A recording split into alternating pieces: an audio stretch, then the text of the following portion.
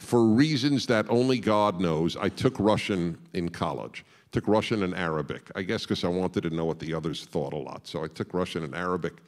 And I, uh, so uh, I, since I also had studied Hebrew, I knew I learned, I love languages. And so the Israeli government sent me when I was uh, 20 years old, sent me into the Soviet Union to smuggle in uh, Jewish items and smuggle out Jewish names.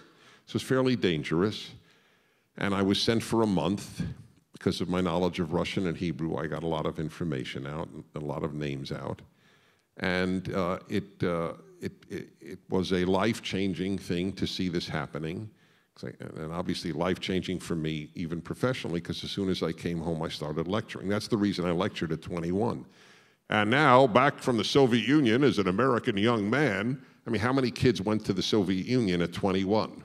And had interesting stories to tell. So that's how I began my. They called him James Bondberg. Yes. Agent is... Buck 29.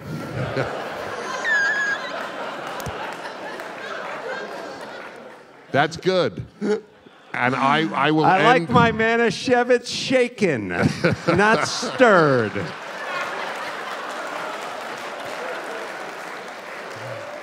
You know what? That can't be topped. Thank you all very, Thank very you. much.